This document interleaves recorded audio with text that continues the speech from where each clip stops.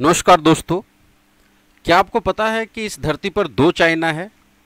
या यूँ कहें कि दो ऐसी सरकारें हैं जो चाइना पर शासन करने का दावा करती हैं, चाइना की वास्तविक सरकार लेजिटिमेट सरकार होने का दावा करती हैं? अगर आपको नहीं पता है तो इस वीडियो में हमारे साथ जुड़े रहें। इस वीडियो के अंत तक हम इस सवाल का जवाब ढूंढेंगे। आज हम लोग देखने वाले हैं चाइनीज़ रिवॉल्यूशन नमस्कार दोस्तों, मेरा नाम निशांत है और आप देख रहे हैं अपना YouTube English channel easy English तो चलिए स्टार्ट करते हैं। ये आप चाइना का मैप देख रहे हो। चाइना के बारे में कुछ बेसिक बातें हम लोग पहले देख लें। चाइनीज़ रिवॉल्यूशन को समझने के पहले थोड़ी बहुत चाइना के बारे में कुछ बेसिक बातें। चाइना की आबादी दुनिया में नंबर एक पर है। सबसे अधिक आबादी है पूरे दुनिया में। इकॉनमी की जहाँ तक बात है तो इकॉनमी में वो नंबर दो पर है फ़िलहाल। और चौदह ट्रिलियन डॉलर की इकॉनमी है। नंबर एक अमेरिका और उसके बाद चाइना का नंबर है। चौदह देशों से इसका लैंड बॉर्डर मिलता है है ना? मंगोलिया रसिया अपना प्यारा भारत है, नेपाल है, म्यांमार।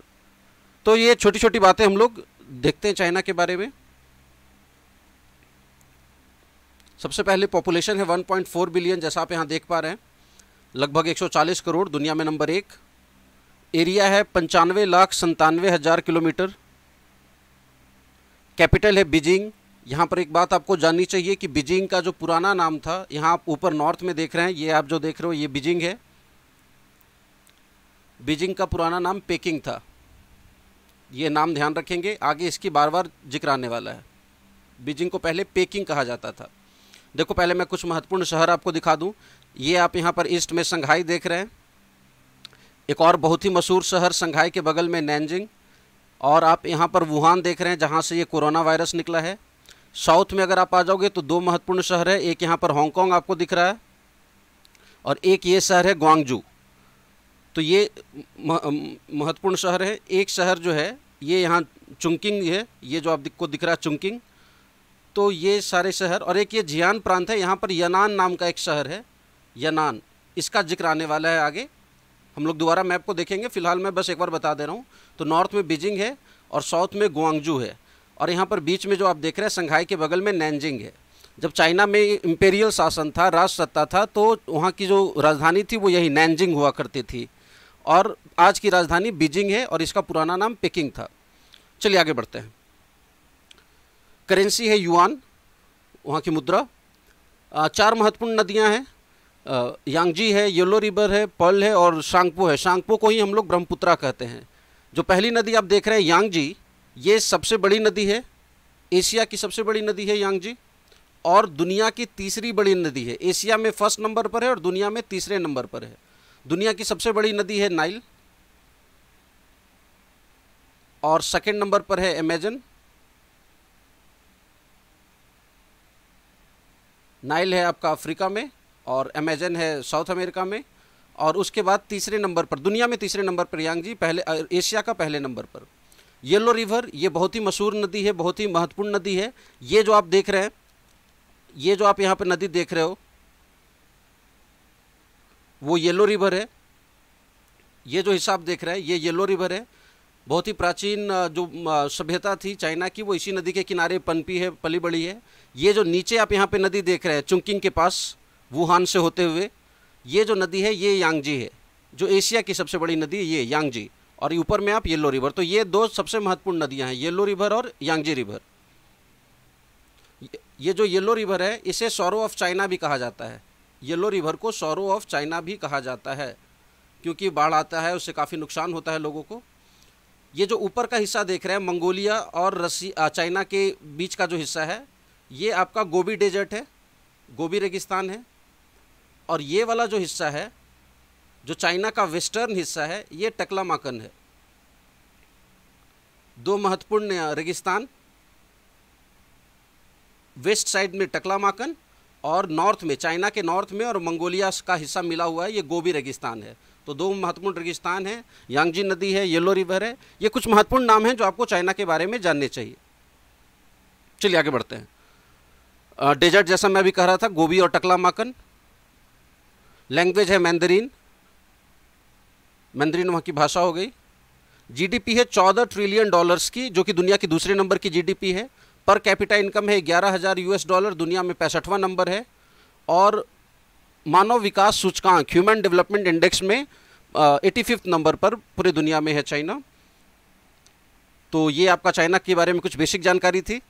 ख्याल रखेंगे इसका। एक बात और मैं आपको यहाँ पर बता दूँ कि देखो चाइना की जो अधिक आबादी है ना चाइना की जो बड़ी आबादी है, वो चाइना के ईस्ट में है। जितने महत्वपूर्ण शहर हैं, वो सब इधर हैं ईस्ट साइड में। वेस्ट में जैसा मैंने बोला, ये यहाँ पे रेगिस्तान है, ये रेगिस्तान का इलाका है, ये तिब्बत पठार वाला इलाका है। ये देखो, ये अक्साई चीन, जो हमारा कश्मीर का वो हिस्सा जो इन्होंने कब्जा किया हुआ है, वो है। और पाकिस्तान, ऊपर में काफ़ी सारे देश, किर्गिस्तान, तजाकिस्तान, है ना? आगे उसको देखने वाले हम लोग। तो जो चाइना की मुख्य आबादी है, वो इधर रहती है, चाइना के पूरब वाले भाग में।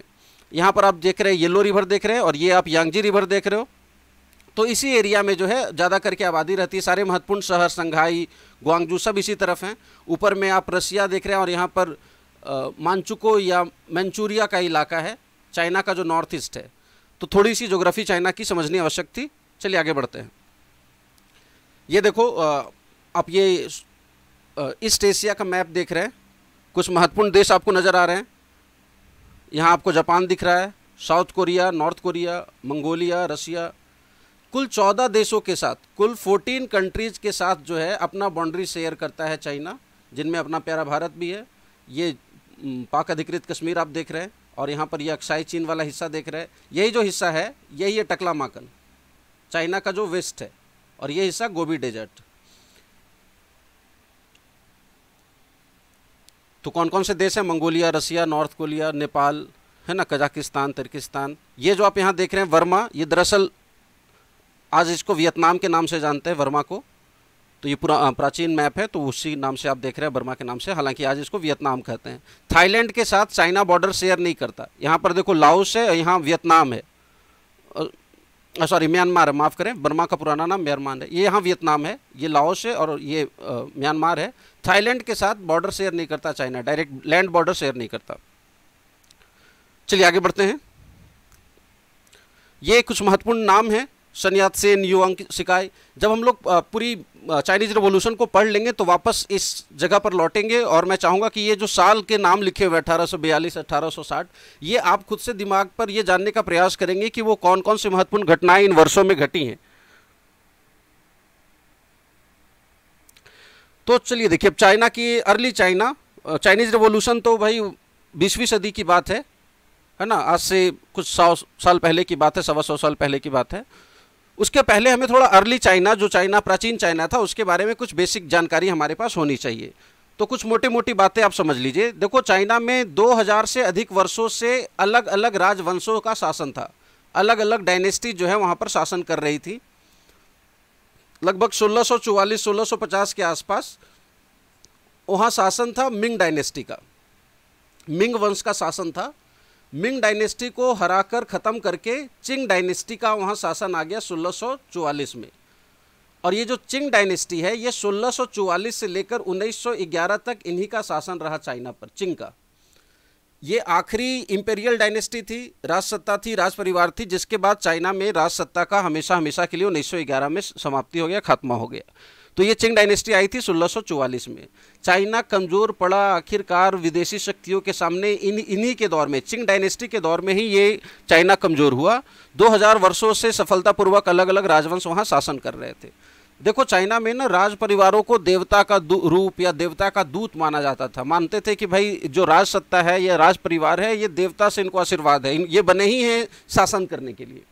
लोगों का ये भ्रम जो है बीसवीं सदी में आकर टूट गया और राजसत्ता के खिलाफ आंदोलन होता है, राजसत्ता को उखाड़ कर फेंक दिया जाता है। इसमें कुछ महत्वपूर्ण घटनाएँ घटी हैं। देखिए, पंद्रहवीं सदी से ही विदेशी आना शुरू कर चुके थे चाइना में। सबसे पहले पुर्तगीज आए, है ना? फिर ब्रिटिश भी आए, फ्रेंच आए। और ये लोग आते गए और चिंग डायनेस्टी ने सबसे बड़ी गलती क्या की थी कि इन्होंने अपना नेवी मज़बूत नहीं किया था। जबकि ये आप देखते हो चाइना का ईस्ट और साउथ में पानी ही पानी है, लेकिन इन्होंने अपना नेवी मज़बूत नहीं किया और नेवी मज़बूत नहीं करने के कारण चिंग डायनेस्टी को बहुत सारा हार का सामना करना पड़ा। खैर, उस पर बात करते हैं। तो विदेशी शक्तियाँ आना शुरू कर चुकी थी पंद्रहवीं सदी से ही। पोर्तुगीज, ब्रिटिश, फ्रेंच, तमाम लोग आते थे, व्यापार करते थे। 1838 की घटना है कि जो ब्रिटिश लोग थे, उन्होंने यहाँ ओपियम का व्यापार शुरू किया। ओपियम एक मादक पदार्थ है, नशीली पदार्थ है। देखो, ये जो व्यापार करते थे ना, राज परिवार इनसे खुश नहीं होता था, लेकिन मजबूरी में या इस तरह का ये ट्रीटी या ऑफ़र या डील करते थे कि राज सत्ता को मानना पड़ता था, इनके आगे झुकना पड़ता था। लेकिन असली जो चिंग डायनेस्टी और वेस्टर्न पावर के बीच का जो झगड़ा शुरू हुआ, वो यहाँ से शुरू हुआ अठारह की घटना। अठारह में ओपियम का इम्पोर्ट है ना? अंग्रेज़ लोग जो थे, वो चाइना में ओपियम ला कर बेच रहे थे और हालत ये हो गई थी कि वहाँ की पूरी युवा पीढ़ी जो है, पूरी तरह ओपीएम की गिरफ्त में आ गई, है ना? हर जगह ये जो आप देख रहे हो तस्वीर, इसको ओपीएम डेन कहते थे। ओपीएम डेन, नीचे वाली जो आप तस्वीर देख रहे हैं, जैसे हुक्का बार वगैरह कैसा होता है, उस तरीके का। देखो, यहाँ लोग बैठे हुए हैं ना, और ये ओपीएम का सेवन कर रहे हैं। पूरी चाइना इस तरह से जो है, बर्बाद हो रही थी नशा करके। तो चिंग डायनेस्टी के एक अधिकारी ने 1838 में क्या किया कि ब्रिटिश के ओपीएम के एक जहाज़ को आग लगा दिया। लगभग बीस हज़ार डब्बे जो थे उनको आग लगा दिया। और यहाँ पर इसी घटना के बाद ब्रिटिश शासन में और चिंग डायनेस्टी में युद्ध शुरू होता है। फ़र्स्ट ओपियम वॉर होता है। फ़र्स्ट ओपियम वॉर, ये नाम याद रखेंगे, चाइना के इतिहास का एक महत्वपूर्ण नाम है। किनके किनके बीच हुआ? चिंग डायनेस्टी के बीच और अंग्रेज़ों के बीच। किस लिए भाई? अंग्रेज़ ओपियम बेचना चाहते थे, चिंग डायनेस्टी चाहती थी कि ओपियम ना आए। तो 1838 में ये चिंग डायनेस्टी के अधिकारी ने आग लगाया ओपीएम के जहाज़ को और उसके बाद ये अठारह में ये फ़र्स्ट ओपीएम वार हुआ। चीन की नेवी चूँकि, चिंग डायनेस्टी की नेवी बहुत कमज़ोर थी। इनको बहुत बुरे हार का सामना करना पड़ा। धीरे धीरे फिर 1960 में ये फ़र्स्ट ओपीएम वार कब हुआ था? उन्नीस से उन्नीस सौ बयालीस तक। फिर 1960 में सेकेंड ओपियम वार होता है, फिर से चिंग डायनेस्टी और अंग्रेज़ों के बीच में, इसमें भी इनको हार हार का सामना करना पड़ता है। तो ये धीरे धीरे ये सरकार बहुत ही कमज़ोर, ये राज सत्ता बहुत ही कमज़ोर हो गई थी। लोगों का, आम चाइनीज़ नागरिकों का भरोसा इस राज परिवार में ख़त्म होता जा रहा था। अच्छा एक और महत्वपूर्ण बात, ये जब पश्चिमी देश यहाँ पर आ रहे थे वेस्टर्न इंपेरियल पावर्स आ रहे थे तो वो ना केवल व्यापार कर रहे थे, बल्कि वो क्रिश्चनिटी को भी लेकर आ गए। क्रिश्चियन मिशनरीज क्रिश्चियन धर्म प्रचारक भी आ गए और बड़ी संख्या में चाइनीज़ों को उन्होंने क्रिश्चियन बनाना शुरू कर दिया, जिससे लोगों में एक विशेष नाराज़गी पैदा हो गई। तो क्रिश्चियन मिशनरीज के खिलाफ भी एक जनमानस, एक गुस्सा, एक नफरत की भावना चाइनीज़ों में पैदा हो रही थी। ऊपर से राज सत्ता से नाराज़गी थी कि भाई आप देश संभाल नहीं पा रहे हो, विदेशियों के सामने घुटने टेक रहे हो। तो इन्हीं घटना, ये घटनाएँ हैं आपकी सारी उन्नीसवीं सदी की। 1838 में जब अठारह में जब पहला ओपियम वॉर शुरू हुआ, उसके बाद से चिंग डायनेस्टी का पतन धीरे धीरे शुरू हो गया। देखते हैं घटनाओं को। देखिए 2000 साल का इंपेरियल डायनेस्टी था 2000 से अधिक वर्षों से राजसत्ता थी। मिंग डायनेस्टी को ओवरथ्रो किया 1644 में, जैसा हमने अभी देखा 1911 तक शासन रहा चिंग डायनेस्टी का।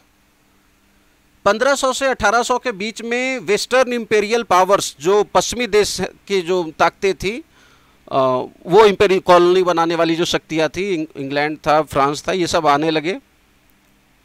क्रिश्चियन मिशनरीज आई, वो प्रीच कर रही थी इस्लाम को, इस्लाम का प्रचार प्रसार कर रही थी और चाइनीज़ को बदल रही थी क्रिश्चनिटी में।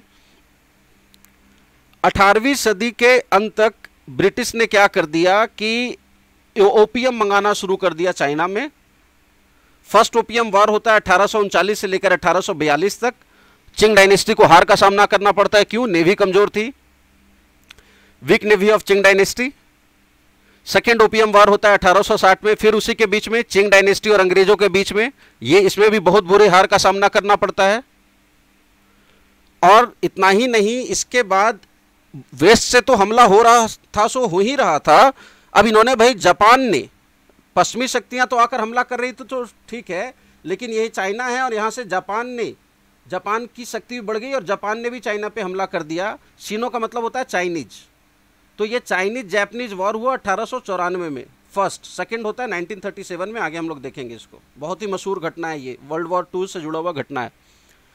तो चाइना और जापान के बीच में घटना अच्छा एक बात और है कि जो चाइनीज़ लोगों, चाइनीज़ लोग हैं, उनमें जापान के प्रति एक विशेष दुराग्रह, एक विशेष नेगेटिव भावना थी। है ना? और ये हमेशा से उबाल मारती रही और आगे की जो घटनाएँ होती हैं बीसवीं सदी की जो घटनाएँ होती हैं, बीसवीं सदी की शुरुआत की 1910 1919 उसमें चाइनीज़ के मन में जो जापान के प्रति दुराग्रह है, वो उसका भी एक महत्वपूर्ण रोल है तो उसका ध्यान रखेंगे। फ़िलहाल बस ये समझना है कि 1894 में पहला चाइनीज़ जैपनीज युद्ध हुआ।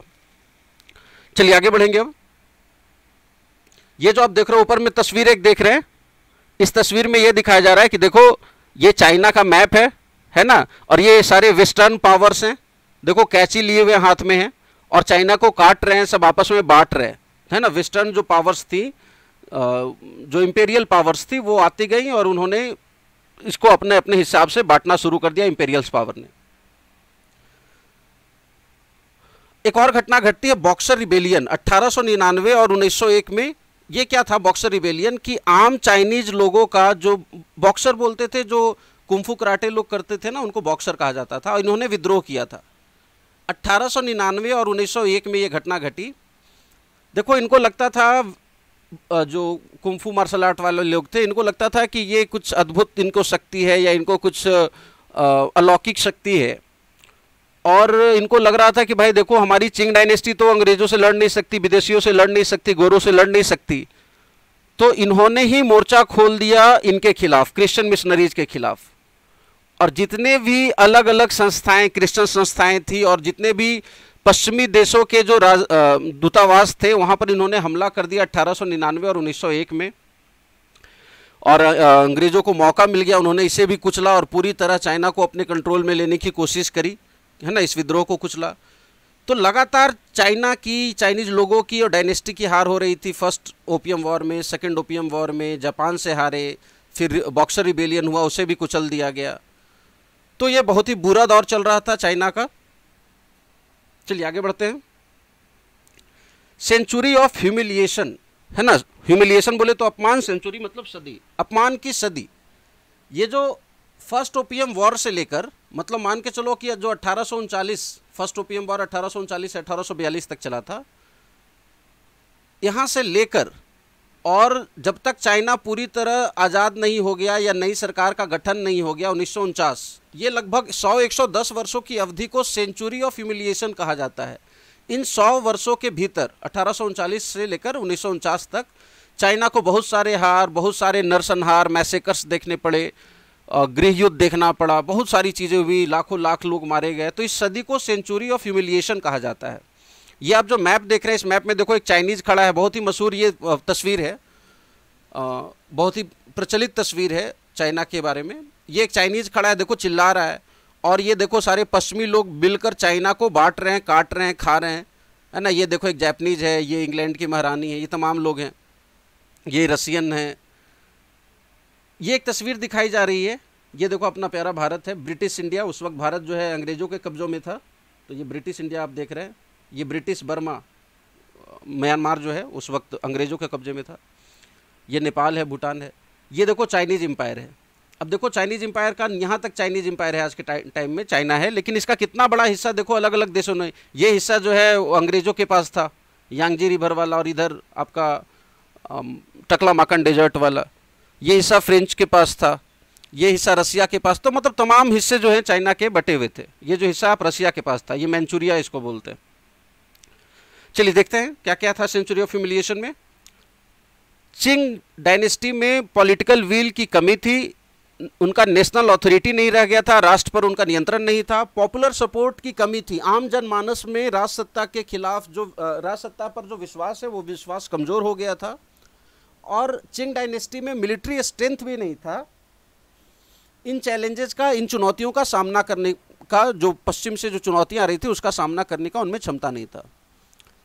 Chinese believed the dynasty had surrendered its power Chinese को लगता था कि डायनेस्टी ने अपनी पावर को सरेंडर कर दिया है और उनको मैंडेट ऑफ़ हेवन देवताओं का जो आशीर्वाद था, देवताओं का जो मैंडेट था, वो उनसे खत्म हो गया, छिन गया है। अठारह से जैसा मैं अभी बता रहा था, उन्नीस सौ उनचास तक इस अवधि को मानते हैं century of humiliation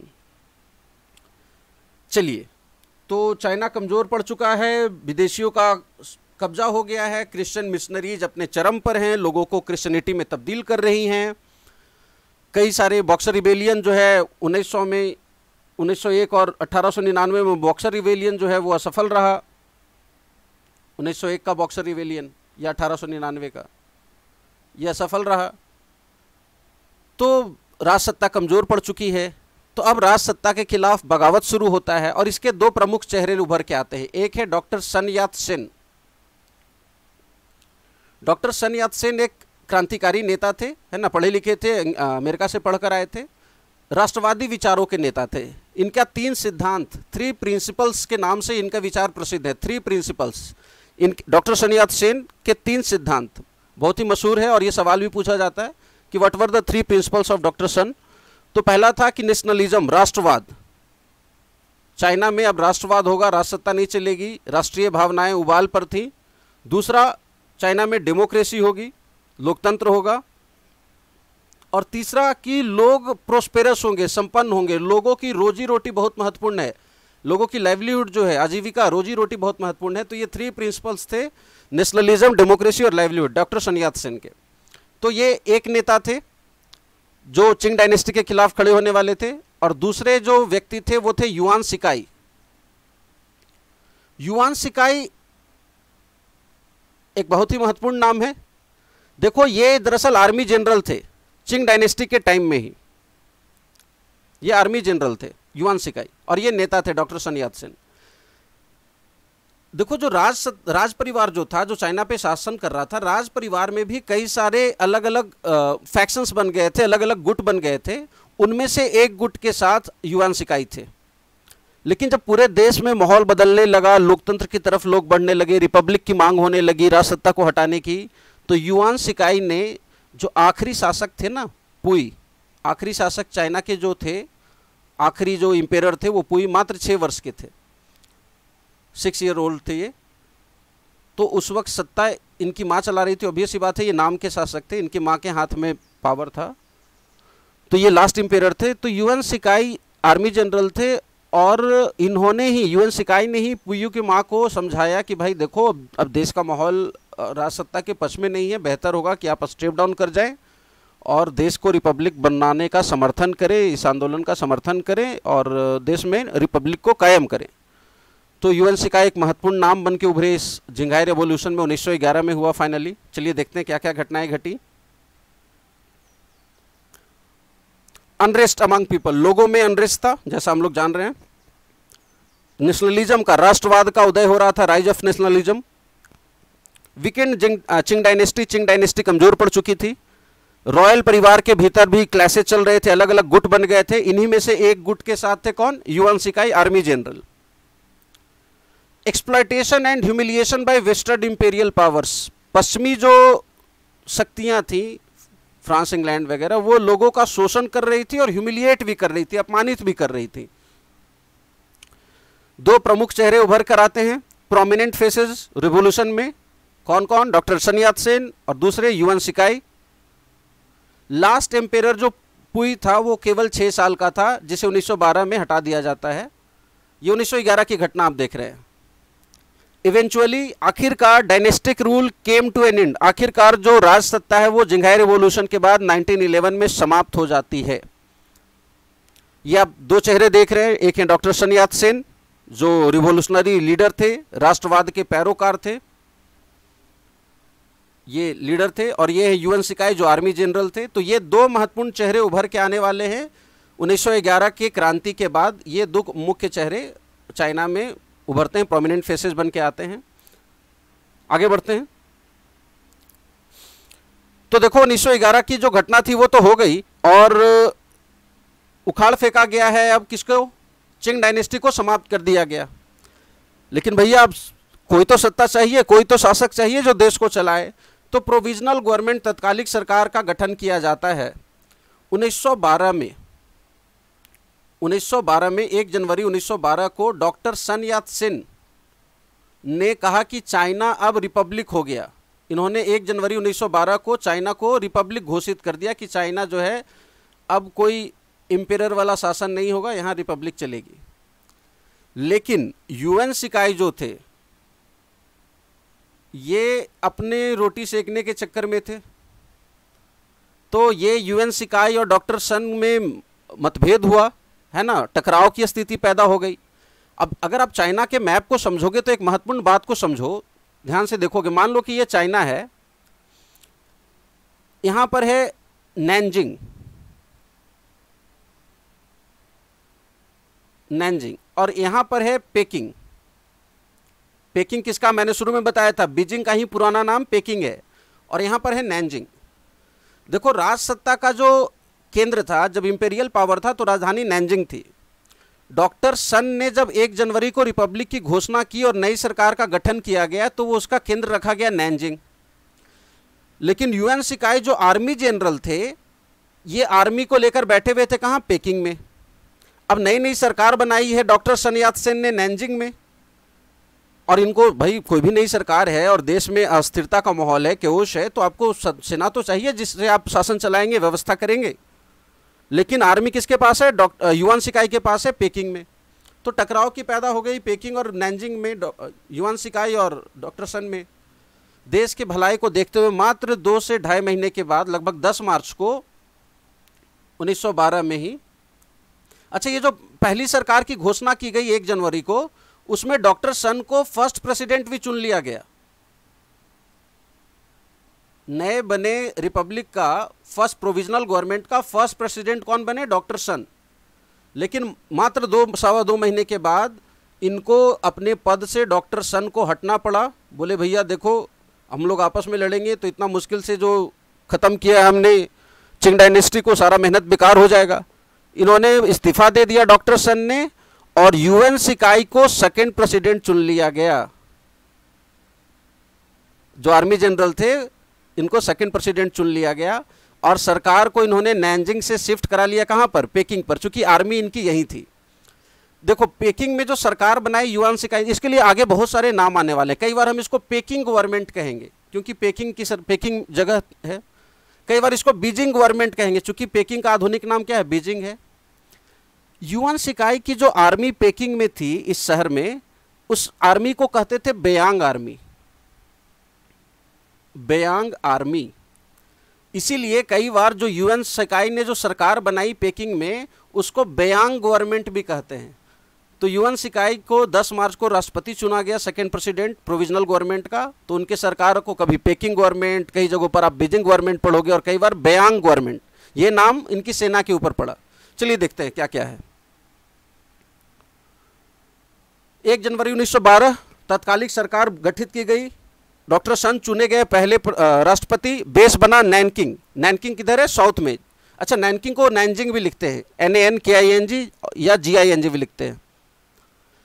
Army under Yuan Shikai. Army Yuan Shikai के अंदर में थी और इसकी बेस जो थी वो पेकिंग में या बीजिंग में, नॉर्थ में, ऊपर की ओर। झगड़ा शुरू हुआ। To avoid confrontation. झगड़ा से बचने के लिए एंड यूनिफाई चाइना और चाइना को यूनिफाई करने के लिए doctor Sun step down. Step down मतलब पद से उतर गए, राष्ट्रपति का पद त्याग दिया। 10 March, Yuan Shikai chosen second president, Yuan Shikai को सेकेंड प्रेसिडेंट चुन लिया गया और उन्होंने गवर्नमेंट का बेस कहाँ से? नैनजिंग से शिफ्ट कर दिया कहाँ? पेकिंग, चूँकि आर्मी पेकिंग में थी। तेईस अगस्त को डॉक्टर सन ने नई पार्टी, केएमटी का गठन किया। तेईस, ये सारी घटना आप 1912 का देख रहे हैं। ये जो भी आप घटना देख रहे हो, आप 1912 का देख रहे हो। ये सारी घटना 1912 की देख रहे हैं।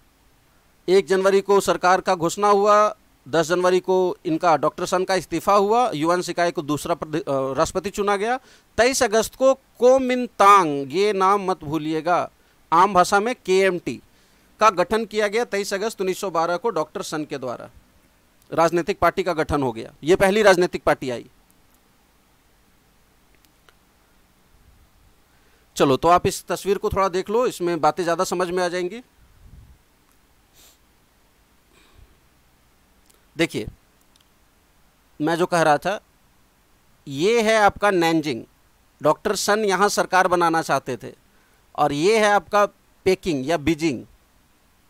यहाँ यूएन सिकाई बैठे हुए थे, जनरल, आर्मी, और यहाँ डॉक्टर सन की सरकार। जब 10 मार्च को यूएन सिकाई को प्रेसिडेंट चुना गया तो सरकार जो है यहाँ से शिफ्ट कर दिया गया कहाँ पर? बीजिंग में। क्लियर? आगे ये शहर का भी नाम आने वाला है, ग्वांगजू। मैं बार बार दिखा रहा हूँ, यहाँ हांगकॉन्ग है और ग्वांगजू है। ये नाम आगे बार बार, यहाँ संघाई है। तो इन शहरों का नाम ध्यान रखेंगे। चलिए आगे बढ़ते हैं।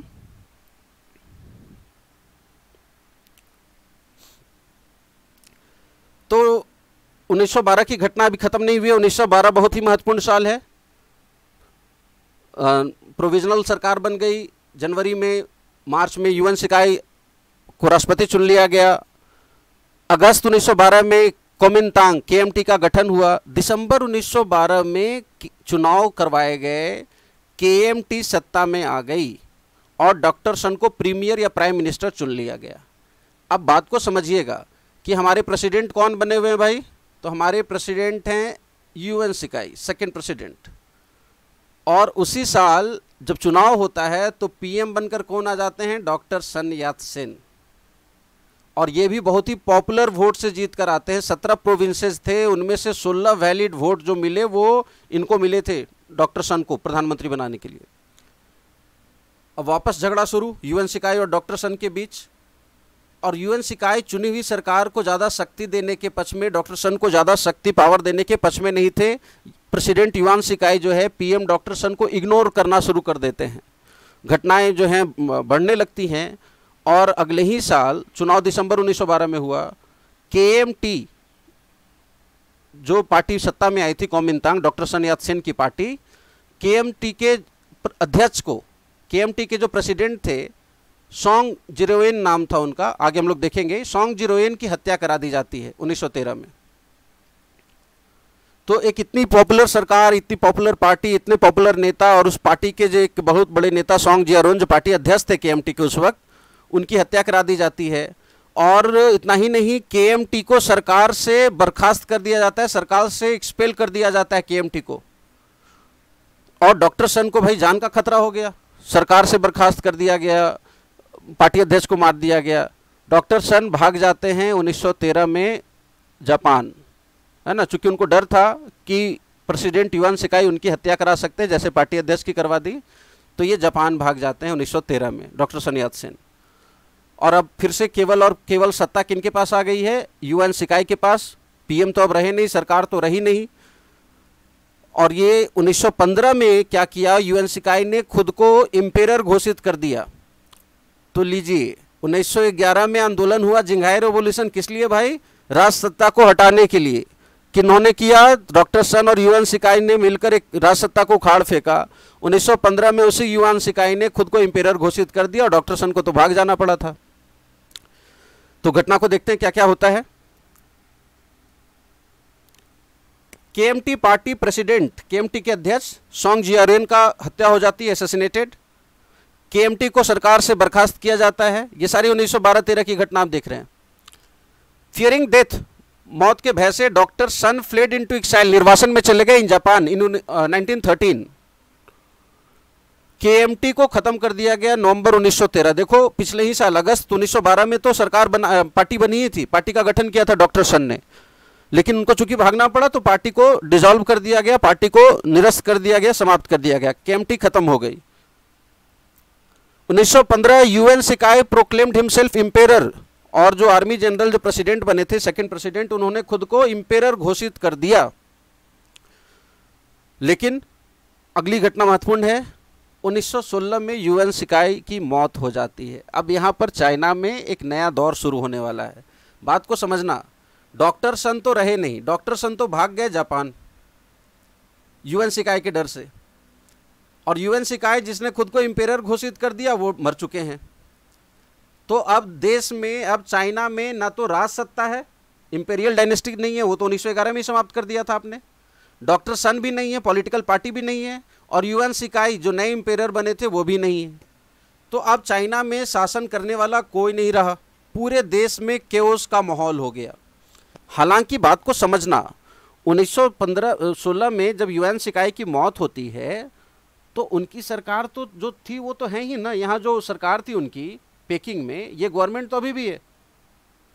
गवर्नमेंट तो बची हुई है। यूएन सिकाई के जो सक्सेसर्स हुए, उनके जो बाद के लोग आए, उन्होंने कोशिश किया कि ये सरकार चलती रहे, पेकिंग वाली सरकार चलती रहे। लेकिन इनके अंदर इतनी क्षमता नहीं थी कि ये पूरे देश को अपने कंट्रोल में रख पाते। जगह जगह आंदोलन, विद्रोह होना शुरू हो गया। क्योंकि जो पॉपुलर नेता थे वो चेहरा तो रहा नहीं। चलिए आगे बढ़ते हैं। तो यूएन सिकाई की मौत के बाद 1916 से 1928 ये लगभग 12 वर्षों की अवधि को वारलॉर्ड एरा कहते हैं। 1916 से 1928 इसी साल जो है, डेथ हुई किसकी? यूएन सिकाई की। अब बात को समझना। 1916 में यूएन सिकाई की मृत्यु होती है। डॉक्टर सन को तो अब खतरा रहा नहीं, जिसे खतरा था वो तो मर चुका। तो ये जो है 1917 में वापस चाइना लौट आते हैं। डॉक्टर सन यात सेन। है ना? अब देखो, यहाँ पर अभी भी भले वो नहीं है, यू यूएन शिकायत ख़त्म हो गए, लेकिन उनकी सरकार अभी भी यहाँ पर बैठी हुई है, पेकिंग में, बीजिंग में। यहाँ उनकी गवर्नमेंट, बेयांग गवर्नमेंट भी कहते हैं इसको। बेयांग गवर्नमेंट अभी भी नॉर्थ में है, भले इनके पास पावर नहीं है, इनके पास पूरे चाइना का नियंत्रण नहीं है। देखो अलग अलग लोगों ने अपना सत्ता, अपना क्षेत्र बना लिया है, सॉवरेन स्टेट बना लिया है। इस सरकार से ये सब एरिया कंट्रोल, जो आप लाल लाल इलाके देख रहे हैं ना इन्हीं को कहा जाता है वारलॉट्स वारलॉट्स वो लोग थे जो राज सत्ता के टाइम शक्तिशाली लोग थे या सेना के लोग थे वो। इनको मौका मिल गया, जब देश की सरकार कमज़ोर हो, है ना तो इन्होंने अपने अपने इलाके बना लिए अपने अपने प्रोविंसेस बना लिए अपना अपना क्षेत्र बना लिया अपना दबदबा कायम कर लिया। तो इसी अवधि को वारलॉ डेरा कहते हैं, आपस में खूब सारी लड़ाइयाँ लड़ रहे थे। और ये सरकार बैठी तो थी नॉर्थ में, उत्तर में, लेकिन ये कमज़ोर सरकार थी, नपुंसक सरकार थी। देखते हैं क्या होता है। Yuan death occurred China into an era of chaos Yuan के डेथ ने चाइना को एक क्योस वाले एरिया में के एरा में धकेल दिया। Struggle for power among warlords और आप, आपस में ही वारलॉर्ड्स के बीच पावर का संघर्ष सत्ता का संघर्ष शुरू हो गया। कई लोगों ने मेनी सॉवरन एरियाज़ कई सॉवरन एरिया स्वतंत्र इलाके घोषित कर लिए गए कि भैया ये मेरा इलाका ये सरकार का इलाका नहीं है यहाँ बयांग गवर्नमेंट का नहीं चलेगा पेकिंग की सरकार जो है नहीं चलेगी यहाँ। Though the Beiyang government in Peking manage to survive, जो बयांग गवर्नमेंट थी नॉर्थ में, पेकिंग में, आधुनिक बीजिंग में, वो सर्वाइव तो कर गई, लेकिन इट लॉस्ट कंट्रोल, लेकिन इसका कंट्रोल जो है चाइना पे नहीं रहा। तो देखो, चाइना खंड खंड हो चुका है, वारलॉर्ड्स ने अपने अपने इलाके बना लिए हैं, सरकार बैठी तो है, लेकिन कमज़ोर है, और इसी बीच डॉक्टर सन यात सेन जापान से आ चुके हैं। 1916 में युवन सिकाई की मौत होने के बाद 1917 में वो लौट आए। 1917 में जब वो लौट कर आते हैं तो एक दो साल संघर्ष करते हैं। 1919 में पार्टी जो के थी, जिसको डिजॉल्व कर दिया गया था के को ख़त्म कर दिया गया था 1913 में जब भागे थे ना वो, जापान भागे थे डॉक्टर सन तो के को समाप्त किया गया था। उसे उन्नीस सौ उन्नीस में दोबारा से रिसरेक्ट रिसरेक्ट का मतलब होता है पुनः ज़िंदा करना। किसी चीज़ को वापस जान देना, जान फूकना। उन्नीस सौ उन्नीस में पार्टी के को रिसरेक्ट किया गया, दोबारा से गठित किया गया। 1921 में ये जो चाइना है ना, मान लो ये चाइना है, यहाँ पर नॉर्थ वाली गवर्नमेंट, युवान सिकाई की बची हुई सरकार बैठी हुई है। साउथ में यहाँ पर एक ग्वांगजू शहर है, संघाई यहाँ, हांगकांग के पास, ग्वांगजू। 1921 में के ने डॉक्टर सन यात सेन ने इस वाले इलाके पर डॉक्टर सन ने एक सरकार बना लिया के ने। तो अब चाइना में दो सरकारें हो जाती हैं। एक तो वो जो असली सरकार है, पेकिंग वाली, यूएन सिकाई की जो सक्सेसर्स हैं। और दुनिया के देश इसी सरकार को मान्यता दे रहे हैं, चूँकि आधिकारिक सरकार तो यही है। दुनिया भर के जो देश हैं, ये इसी को मान्यता दे रहे हैं। डॉक्टर सन यात सेन ने एक राइवल गवर्नमेंट तो बना ली ग्वांगजू में। लेकिन इस सरकार को दुनिया के देशों का रिकॉग्निशन मान्यता नहीं मिल रहा। तो इन्होंने क्या किया कि इन्होंने मदद लिया, डॉक्टर सन ने मदद लिया रसिया से। और रसिया ने, रूस ने इस सरकार को अपनी मान्यता दी कि हाँ भाई, ये जो है वैध सरकार है और हम इस सरकार को मानते हैं ग्वांगजू वाली सरकार को के की सरकार को। और इतना ही नहीं, देखो डॉक्टर सनियात सेन जब पहले बार प्रोविजनल गवर्नमेंट के प्रोविजनल गवर्नमेंट के राष्ट्रपति बने थे तो इनको दो महीने में ही पद छोड़ना पड़ा था। 1912 के मार्च में क्यों? यूएन शिकायत के दबाव में। क्योंकि इनके पास सेना नहीं थी। डॉक्टर सन के पास सेना नहीं थी। तो डॉक्टर सन की सरकार को ना केवल रसिया ने मान्यता दी, बल्कि इनकी मदद भी की आर्मी बनाने में। रसिया ने डॉक्टर सन के सरकार को मान्यता दी और के को अब नई आर्मी गठित करने में मदद भी करी। तो अब चाइना में दो सरकारें हैं, एक पेकिंग की सरकार है और एक साउथ में गुआंगजू की सरकार है। देखते हैं क्या होता है।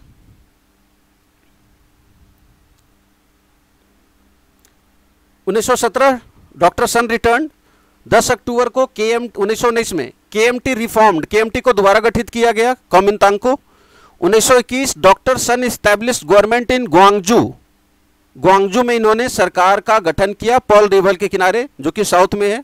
हांगकांग के पास मैंने बताया। Tried to raise army with the help of Russia Russia की मदद से डॉक्टर सन सेन ने सेना तैयार करने की कोशिश करी। अच्छा देखो रसिया जो है वो वामपंथी देश है, ना कम्युनिस्ट वाम विचारों वाला लेफ़्ट विचारों वाला देश है। तो होता क्या है कि के ने 1921 में सरकार तो बना ली। ग्वांगजू में कैंटन ग्वांगजू को कैंटन नाम से भी जानते हैं। मैप देखोगे तो चाइना के साउथ में आपको दिखेगा ये। उसी उन्नीस सौ इक्कीस में एक नई पार्टी का गठन होता है CPC communist party of China और ये वाम दल वाले लोग हैं। लेकिन ये बिल्कुल अभी नई पार्टी थी, फ्लेजलिंग पार्टी थी, इसके पास मेंबर्स नहीं थे इनकी पहचान नहीं थी चाइना में। तो रसिया ने कहा, चूँकि रसिया का तो के के साथ गठबंधन था ही, रसिया तो उनको सपोर्ट कर ही रहा था तो रसिया ने बोला कि भाई तुम लोग दोनों मिलकर काम करो। तो नई नई बनी पार्टी सीपीसी को केएमटी के साथ गठबंधन करने का मौका मिला। फ़र्स्ट यूनाइटेड फ्रंट के नाम से इसको जानते हैं। ये नेशनलिस्ट पार्टी है केएमटी राष्ट्रवादी पार्टी है डॉक्टर सन की पार्टी है, और सीपीसी कम्युनिस्ट लोग हैं, वामपंथी लोग हैं, वाम विचारधारा के लोग हैं। अलग अलग थोड़े विचार होने के बावजूद दोनों मिलकर गठबंधन बनाते हैं, और ये गठबंधन चार साल चलने वाला है। ये बहुत ही महत्वपूर्ण गठबंधन है। देखते हैं क्या होता है। तो communist party founded in July 1921 में इसका गठन किया गया। Members of CPC would join the KMT CPC के जो मेंबर्स थे, कम्युनिस्ट पार्टी ऑफ़ चाइना के जो मेंबर थे, वो कोमिनतांग को ज्वाइन कर रहे थे, गठबंधन में भी थे और सरकार को भी ज्वाइन कर रहे थे, जो साउथ में जो सरकार बनी के की ग्वांगजू में, उस सरकार में भी ये लोग शामिल हो गए, गठबंधन के लोग। तो फ़र्स्ट यूनाइटेड फ्रंट ये ध्यान रखने वाली बात है। अब जरा इस तस्वीर को देखिए, इस तस्वीर में सारा मामला क्लियर हो जाने वाला है। देखो, ये जो आप देख रहे हैं, यहाँ यहाँ पर है वो युवान सिकाई की बची हुई सरकार, नॉर्थ में।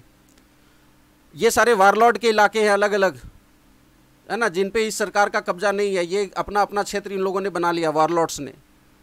और जापान से लौटने के बाद डॉक्टर सन यात सेन ने ये साउथ में, यहाँ ग्वांगजू में सरकार बना ली। तो आपको अब चाइना में दो सरकारें नज़र आ रही हैं। एक सरकार यहाँ साउथ में दिख रही है और एक सरकार यहाँ नॉर्थ में दिख रही है। दुनिया के देश इसको मान्यता देते हैं, नॉर्थ वाली सरकार को। रसिया इसको मान्यता देता है, साउथ वाली सरकार को के की सरकार को। और इसमें ना केवल के है कॉमिनतांग तो है ही, इसमें सी भी शामिल है। चलिए देखिए। अब एक महत्वपूर्ण घटना होती है जिसका ज़िक्र ज़रूरी है, चार मई 1919 को। चार मई 1919 की घटना है। फोर मई 1919 बहुत ही इंपॉर्टेंट घटना है ये। देखो, जो नॉर्थ में पेकिंग गवर्नमेंट थी, उसमें कोई मज़बूत लीडर नहीं था। पेकिंग सरकार में, ब्यांग गवर्नमेंट में कोई महत्वपूर्ण नेता नहीं था या ताकतवर नेता नहीं था। फ़र्स्ट वर्ल्ड वॉर जब समाप्त होता है तो फ़र्स्ट वर्ल्ड वॉर में जो महत्वपूर्ण बात हुई कि चाइना, इंग्लैंड, जापान सब एक तरफ़ से लड़ रहे थे। है ना? फ्रांस ये एक तरफ़ थे। जब जर्मनी को हराया गया, फ़र्स्ट वर्ल्ड वॉर में जर्मनी को परास्त किया गया तो चाइना का एक एरिया है सैंडोंग। चाइना के ईस्ट में है, सैंडोंग उस जगह का नाम है। हालाँकि कुछ ज़्यादा ही डिटेल हो जा रहा है, फिर भी ये जर्मनी के पास था, ये चाइना के इलाका जर्मनी के पास था। तो जब जर्मनी की हार हुई तो चाइना ने मांग किया, चाइना की सरकार जो थी, पेकिंग गवर्नमेंट, इसने मांग किया कि भाई ये सैंडोंग वाला ज़मीन हमें वापस कर दो। लेकिन फ्रांस और इंग्लैंड ने ये ज़मीन जो चाइना की थी, ये जर्मनी से लेकर चाइना को ना दिया, बल्कि ये ज़मीन जापान को दे दे दिया। और ऐसे ही जापान के खिलाफ लोगों में बहुत गुस्सा था। जापान से एक युद्ध भी हो चुका था। आपका फ़र्स्ट सिनो जापानीज वार तो हो ही चुका था ना? तो 1894 में, अठारह सौ चौरानवे में 20 साल के पहले की आस, बात की 20-25 साल पहले 1919 से 20-25 साल पहले। तो जापान से तो ऐसे ही नाराज़गी रहती है चाइना के लोगों की। और जब ये बात खबर फैली लोगों में कि भाई जर्मनी से ली गई ज़मीन, जो चाइना की ज़मीन है, वो जापान को दी जा रही है तो और ज़्यादा नाराज़गी हुई।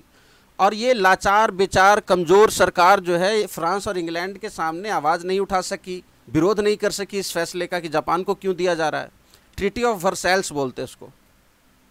ट्रिटी ऑफ़ वर्सैल्स इसी के खिलाफ यहाँ पेकिंग या बीजिंग आज का बीजिंग और पेकिंग एक ही नाम कितने सारे, हैं, वो कन्फ्यूज़न पैदा करता है। इसलिए मैं आपकी आपकी सुविधा के लिए बार बार रिपीट कर रहा हूँ। बीजिंग शहर में छात्रों ने तीन हज़ार से ऊपर छात्रों ने प्रदर्शन किया। इस इस घटना के खिलाफ सैंडोंग वाली ज़मीन जापान को दी जा रही थी, इसके खिलाफ। देखते हैं क्या मामला ये। An anti imperialist cultural and political movement हुआ चार मई को। Thousand of students protested against treaty of Versailles ये देखिए नीचे तस्वीर दिखा रही, दिखाई जा रही है छात्रों का बीजिंग में प्रदर्शन करते हुए। किसके खिलाफ? ट्रिटी ऑफ़ वर्सेल्स के खिलाफ। क्या था ट्रिटी ऑफ़ वर्सेल्स अच्छा ये घटना वायलेंट हो गई, बहुत सारे लोग मारे गए। Weak response of Beiyang government to foreign power Beiyang सरकार, जो चाइना की जो सरकार थी नॉर्थ में, जिसको दुनिया मानती थी, ये बहुत ही कमज़ोर थी और इसका कोई रिस्पॉन्स मजबूती से अपने पक्ष को नहीं रख पाई। Shandong problem land to Japan treaty of Versailles में यही यही एक बात थी कि ये जो ज़मीन थी सेंडोंग वाली सेंडोंग की ज़मीन जो थी, जो वास्तव में मिलना चाहिए था चाइना को, ये दिया जा रहा था किसको? जापान को। तो इस घटना ने वापस से पूरे देश में नेशनलिज्म के फरवर को, राष्ट्रवाद के उत्साह और उमंग को वापस हवा दे दिया, है ना, छात्रों के प्रदर्शन ने। एक तो ऑलरेडी दो सरकारें हैं, एक यहाँ है और एक ग्वांगजू में, डॉक्टर सनी सेन की सरकार। ये सरकार कमज़ोर है। बीच में सारे वारलॉर्ड्स हैं वारलॉर्ड्स ने अपना अपना क्षेत्र बनाया हुआ है। तो इस सरकार के खिलाफ, जो असली सरकार मानी जा रही है, उस सरकार के खिलाफ लोगों में गुस्सा बढ़ना शुरू हो जाता है। चलिए देखते हैं आगे। अब यहाँ से जो डॉक्टर सनियात सेन की सरकार है, ग्वांगजू की, ये उत्तर की ओर जाना शुरू करती है कि भाई ऊपर में जो सरकार बैठी है हमारी राइवल गवर्नमेंट उसको ख़त्म कर देंगे, पूरे चाइना को हम वापस एक बना देंगे, पूरे चाइना में हमारा ही अधिकार हो जाएगा, हमारा ही राज हो जाएगा।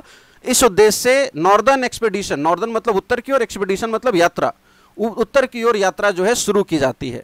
लेकिन बात को समझना अब यहाँ पर होता क्या है कि डॉक्टर सन गुजर जाते हैं आपके आ, 1925 में डॉक्टर सन की मृत्यु हो जाती है। केएमटी के नेता डॉक्टर सन यातसेन केएमटी के संस्थापक की मृत्यु हो जाती है 1925 में। तो अब जो है केएमटी का जो पावर है नए नेता उभर के आते हैं Chiang Kai Sheikh Chiang Kai KMT के नए नेता। अच्छा केएमटी के साथ गठबंधन में कौन है? सीपीसी है। देखो, केएमटी और सीपीसी का गठबंधन तब तक ठीक चलता रहा जब तक सन यात सेन केएमटी के नेता थे। लेकिन जैसे ही चाइंकाई शेख नेता बनते हैं केएमटी के, सीपीसी और केएमटी में दरार पड़ना शुरू हो जाता है क्योंकि चैंकाई शेख जो थे, ये बिल्कुल भी नहीं पसंद करते थे कम्युनिज्म को, वामपंथियों से इनको सख्त एलर्जी थी। तो जब नॉर्दर्न एक्सपेडिशन शुरू होता है यहाँ से ग्वांगजू से ये पेकिंग की यात्रा शुरू होती है कि हम पेकिंग को अपने कब्जे में लेंगे और वारलॉट्स को हराएँगे, इन सभी इलाकों को अपने कब्जे में लेंगे। तो चाइकंग शेख जो थे, जो अब के के नेता बन चुके थे, ये ना केवल इस सरकार से लड़ रहे थे, बल्कि वामपंथियों से भी इनकी लड़ाई हो रही थी। नॉर्थ की ओर बढ़ते हुए ये इनको भी इनको भी ख़त्म करना था सरकार को? और वामपंथियों को भी, इनफैक्ट यहाँ पर एक बहुत बड़ी घटना घटती है संघाई में, संघाई मैसेकर के नाम से, जहाँ हज़ारों वामपंथियों को अपने ही पार्टी के जो अलायंस वाले लोग हैं, गठबंधन के लोग हैं, उनकी हत्या करा देती है के की सरकार जो है, वो कैसे की सरकार जो है। देखते हैं इस घटना को। आई होप आपको आनंद आ रहा हो। डॉक्टर सन की मृत्यु होती है 1925 में। Chiang Kai Shek rose to prominence in KMT Chiang Kai Shek का जो है दबदबा बढ़ जाता है, वो प्रोमिनेंट चेहरा बन जाते हैं। देखो यूएन सिकाई तो बहुत पहले मर चुके थे। यूएन सिकाई बहुत पहले मर चुके थे और डॉक्टर शन याद सेन तो रहे नहीं। तो चियांकाई शेख केएमटी के नेता हैं और ये बहुत ही फ़ेमस हो गए हैं। कम्युनिस्ट लोग जो थे, वो आशंकित थे किसको लेकर? नए नेतृत्व को लेकर। कम्युनिस्ट लोग केएमटी के नए नेतृत्व को लेकर बहुत ही आशंकित थे अप्रीहेंसिव थे। 9 जुलाई 1926 को केएमटी की जो सरकार थी, जो साउथ में थी, इन्होंने नॉर्दर्न एक्सपेडिशन शुरू कर दिया वॉरलॉर्ड्स के खिलाफ, जो वॉरलॉर्ड जो नॉर्थ में थे। दिसंबर 1926 को जो केएमटी और सीपीसी की जो अलायंस थी, केएमटी और सीपीसी की जो अलायंस थी, अभी तक अलायंस टूटा नहीं है। इस अलायंस ने एक सरकार बनाया, प्रोविंशियल गवर्नमेंट बनाया कहाँ? वुहान में। तो इन लोग यहाँ से यात्रा शुरू कर रहे हैं ग्वांगजू से। उसके बाद यहाँ पर इन लोग वुहान में पहुँचते हैं। वुहान में इन लोग अपनी सरकार कायम कर लेते हैं। फिर आगे ये बढ़ते हैं कहाँ? नैनजिंग की तरफ़। नैनजिंग में भी अपनी सरकार बना लेते हैं। और फिर फाइनली इन लोग बयांग गवर्नमेंट या पेकिंग गवर्नमेंट को भी इन लोग हरा देते हैं। आगे हम लोग देखते हैं one by one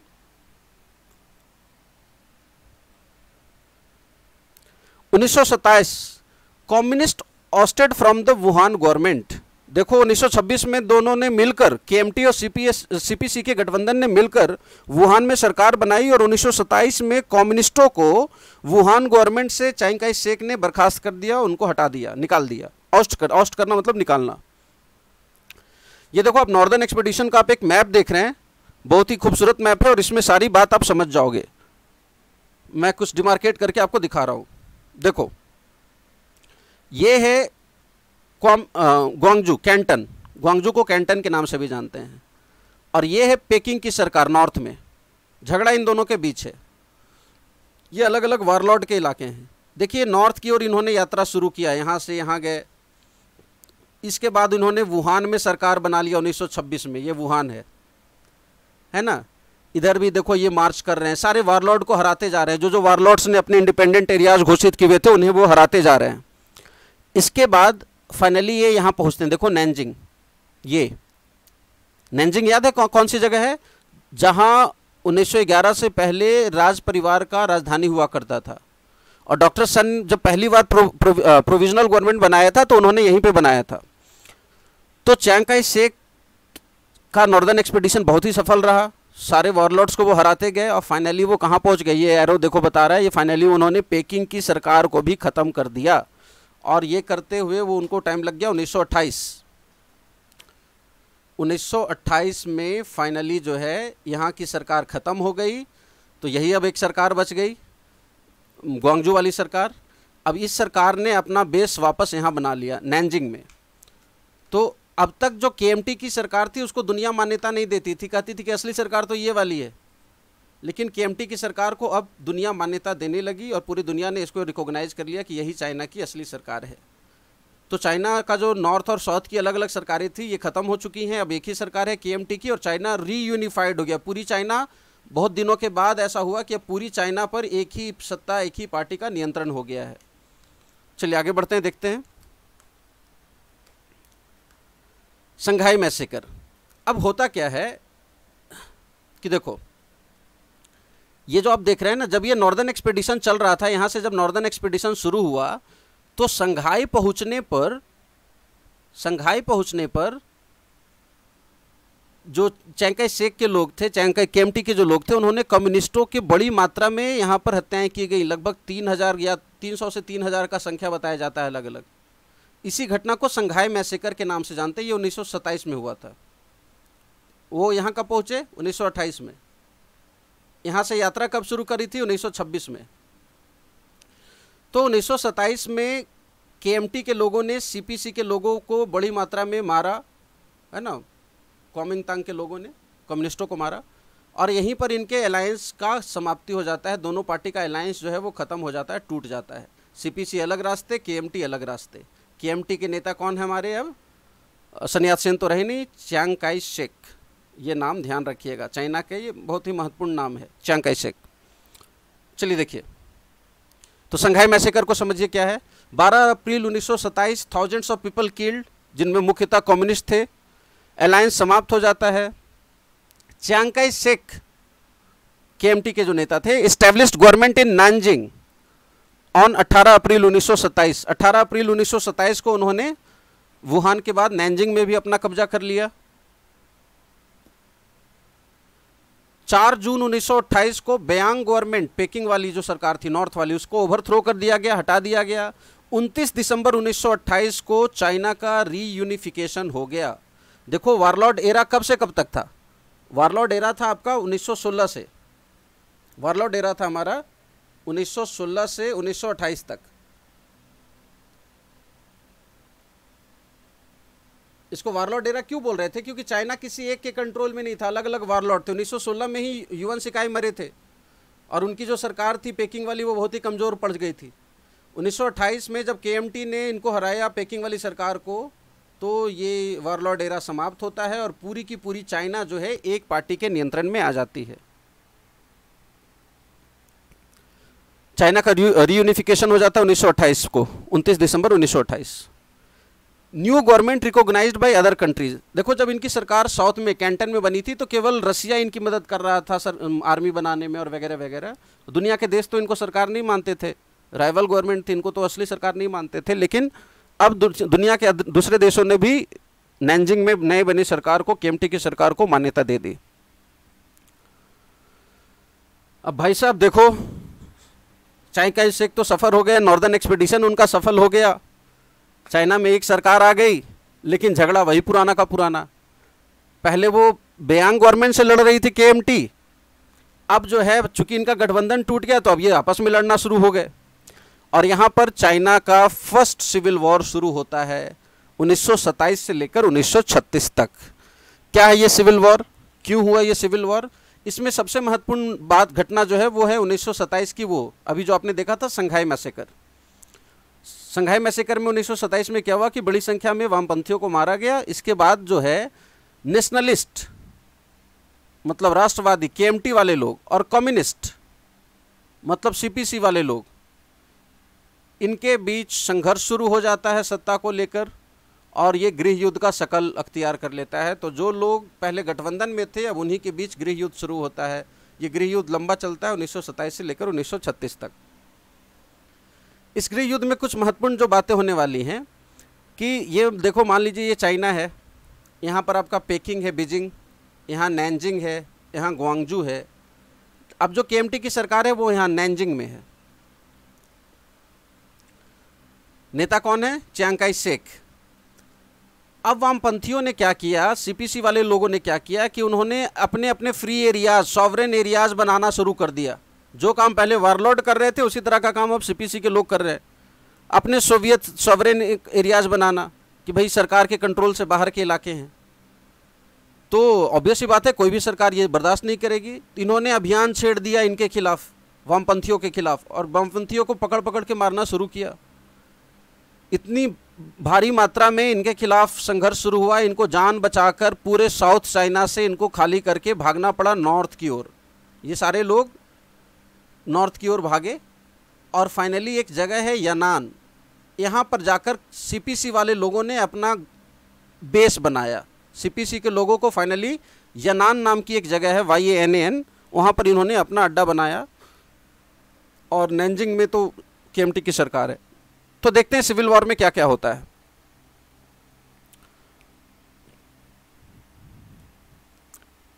Chiang Kai Shek was hostile to communist ideology वो वामपंथी विचारों के प्रति हॉस्टाइल थे, केएमटी के नेता जो थे, इनको डिज़ीज़ ऑफ़ द हार्ट कहते थे। वामपंथी को कम्युनिस्ट को, जो चैंकाई शेख थे, केएमटी लीडर वो डिज़ीज़ ऑफ़ द हार्ट कहा करते थे। और जापानीज लोगों को कहते थे डिज़ीज़ ऑफ़ द स्किन जापानियों से भी नफरत करते थे। Anti communist drive became more and more general जब इनकी फाइनली सरकार बन चुकी, चाइना यूनिफाई हो गया, दोबारा एक हो गया उन्नीस सौ अट्ठाइस में तो अब इनको रोकने वाला तो कोई था नहीं। है ना? नॉर्थ की सरकार समाप्त हो चुकी थी पेकिंग वाली। तो ये बिल्कुल का इससे एक सिंगल कंट्रोल वाले पोजीशन में थे। तो धीरे धीरे पूरे देश में जो है वामपंथियों के खिलाफ हिंसा बढ़ती गई, सरकारी हिंसा बढ़ती गई। एंटी कम्युनिस्ट ड्राइव धीरे धीरे बहुत ही जनरल होते चले गए। Communist armed forces created a number of Soviet areas. अब देखो, यही मैं भी कह रहा था ना। कि कम्युनिस्ट नो, कम्युनिस्टों ने भी अपनी सरकार बना ली। यहाँ तो नैनजिंग में सरकार है। कम्युनिस्टों ने भी अपनी सेना बना ली है। कम्युनिस्टों की जो सेना थी, इसको रेड आर्मी कहते थे। Red army. या people's liberation army. PLA. People's liberation army.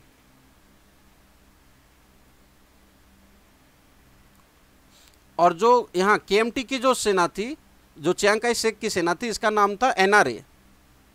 National revolutionary army.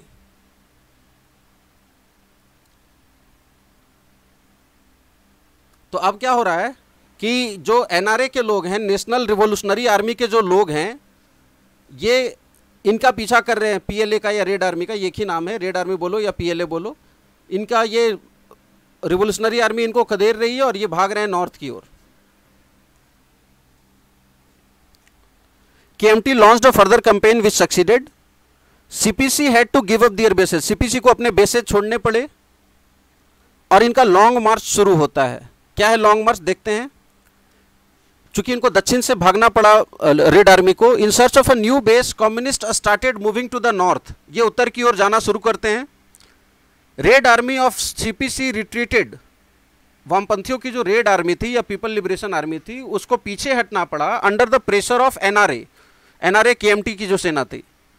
1934-1935 में इन्होंने एक साल में चौरानवे सौ किलोमीटर का यात्रा किया। देखो थोड़ा सा मुझे यहाँ पर वापस तस्वीर से समझाना होगा। ये जो कम्युनिस्ट एरियाज़ थे, यहाँ से जब इनकी सेना नॉर्थ की ओर भागी, यनान की तरफ़ तो बड़ी मुश्किल से ये बचते बचाते, चूँकि इनको पीछे से ये एनआरए वाले लोग जो हैं, पीछा कर रहे हैं, इनको मार रहे हैं, भाग रहे ये लगभग सत्तर हज़ार लोगों ने यात्रा शुरू की थी, सत्रह, सत्तर हज़ार सैनिकों ने। और एक साल के बाद ये दस हज़ार किलोमीटर पैदल यात्रा करने के बाद मात्र उनहत्तर सौ लोग, मात्र दस परसेंट लोग वहाँ ज़िंदा पहुँच सके। बाकी सारे लोग रास्ते में समाप्त हो गए। तो ये सीपीसी के लिए बहुत बड़ा झटका था, बहुत मनोबल को तोड़ने वाली एक घटना थी। लेकिन इसी के बाद सीपीसी का कम्युनिस्ट पार्टी ऑफ़ चाइना का उदय होता है, उनका जो जो मजबूती उन्हें मिलती है, जनता के बीच लोकप्रियता मिलती है। देखो, ये जो घटना है ना लॉन्ग मार्च ये वाम चाइना की जो, आज की जो पार्टी है सीपीसी वो इसे एक बहुत बड़े घटना के रूप में देखती है, भुनाती है और चाइना में इसका, इस घटना का बहुत बड़ा नाम है। आज़ादी की घटना या तरह तरह के नामों से इसको आप सुन सकते हैं। बहुत महिमा मंडन किया जाता है इसका, गुणगान किया जाता है। चीज़ें इतनी आसान भी नहीं थी। जैसे देखो, होता क्या था ना, ये जो मान लीजिए सॉवरन एरियाज़ जो है, ये किसी वामपंथी ने एक सॉवरन एरिया क्रिएट किया हुआ है, यहाँ अपनी व्यवस्था, अपनी आर्मी बना ली है। एक सरकार ऑलरेडी यहाँ बैठी हुई है के की। अब यहाँ जो वामपंथियों की जो सरकार है, इस एरिया में चालीस हज़ार लोगों को मार दिया गया। जो के का समर्थन करते थे, उनको मार दिया गया। तो स्वाभाविक सी बात है ना कि के की सेना आएगी यहाँ आपके पीछे, और आपको मारेगी तो आपको भागना पड़ेगा। तो ऐसा नहीं है, ये सुनकर आपको लग रहा होगा कि ये सीपीसी वाले तो बेचारे बड़े मजलूम थे, बड़े परेशान थे, ऐसा भी नहीं है। आप आप आगे पढ़ने वाले हैं सीपीसी के नेता थे माओ। माओ जिदोंग, आगे इनका ज़िक्र आने वाला है अभी। माओ जिदोंग ने अपने इलाके में चालीस हज़ार से ऊपर लोगों को मरवाया था जो के का समर्थन करते थे। तो उसके बाद माओ को पार्टी में डिमोट कर दिया गया था।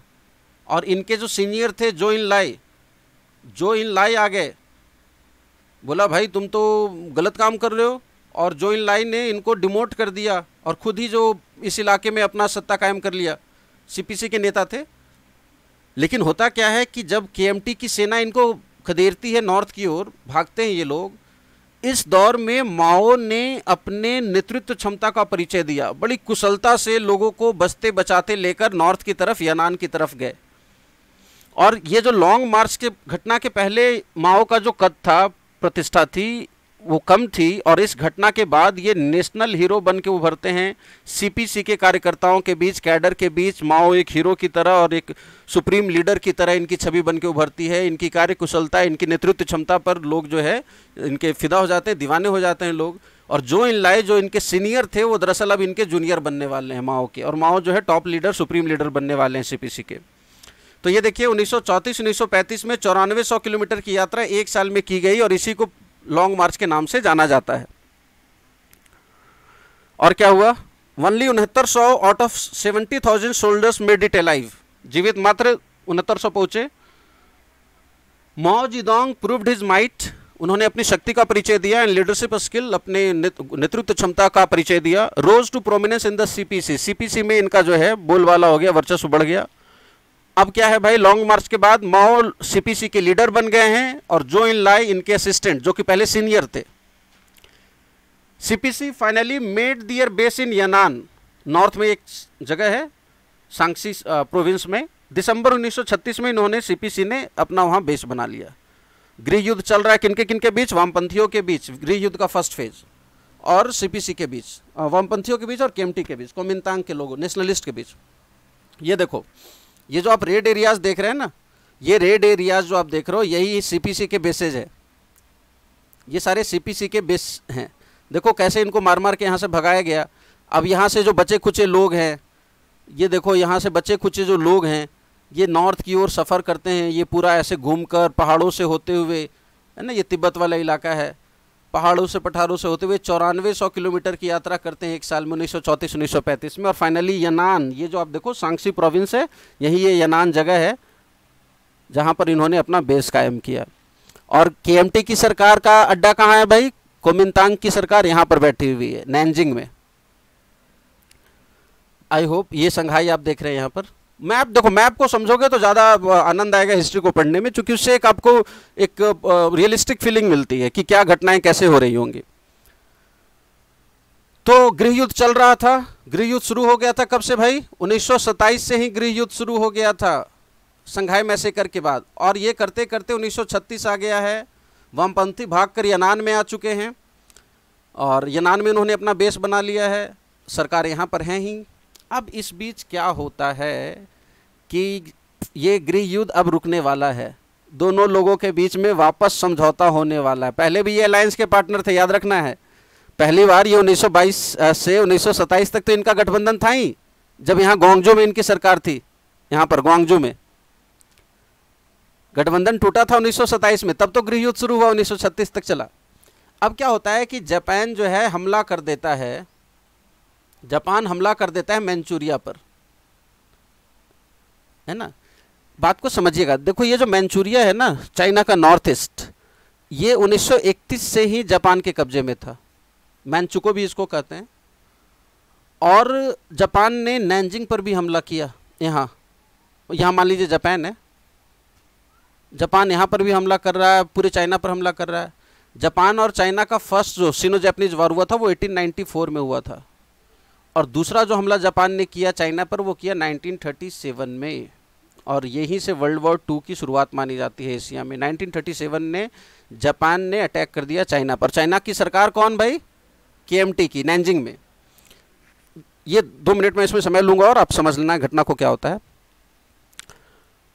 अब ये दो लोग आपस में गृह युद्ध लड़े और जापान तो कॉमन ही नेमी है। तो भाई इनके बीच हुआ कि देखो, इन आपस में लड़ाई बंद करते हैं। फ़िलहाल हम लोग एक हो जाते हैं और मिल के जापान का सामना करते हैं। तो 1927 से 1936 तक दोनों में गृह युद्ध तो चला, लेकिन 1937 में जब जापान ने हमला किया तो के और सीपीसी का दोबारा से गठबंधन हो गया। लीजिए। बाहर से हमला होता है तो घर के लोग इकट्ठे हो जाते हैं, बस वही बात हुई। 1937 में जापान के अटैक के बाद ये दोनों का वापस लोगों ने आपस में लड़ना बंद किया, बोला कि हम लोग अपना कॉमन इनेमी पहले जापान को हराएँगे, आपस में तो बाद में निपट लेंगे। जापान ने जो हमला किया उन्नीस सौ सैंतीस में चाइना पर, उसमें बहुत बड़ी बड़ी घटनाएँ हुई। Nanjing massacre rape of Nanjing कहा जाता है। कुछ लोग तो दो लाख, तीन लाख लोग की संख्या बताते हैं।